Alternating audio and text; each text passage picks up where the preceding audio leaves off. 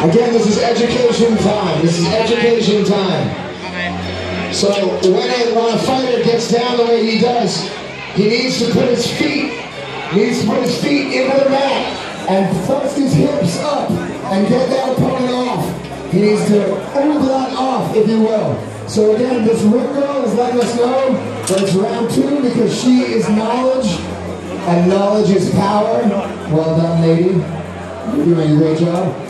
But again, for our fighters, as this is amateur, three, three three-minute rounds goes very fast. And what we want to do is teach them to lift their hips towards the sky. That's what our guys are talking about after this. Let's go.